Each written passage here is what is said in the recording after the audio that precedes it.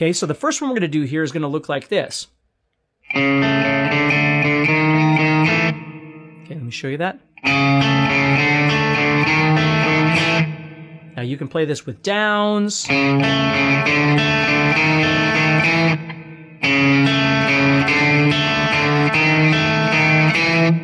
Or alternate picking.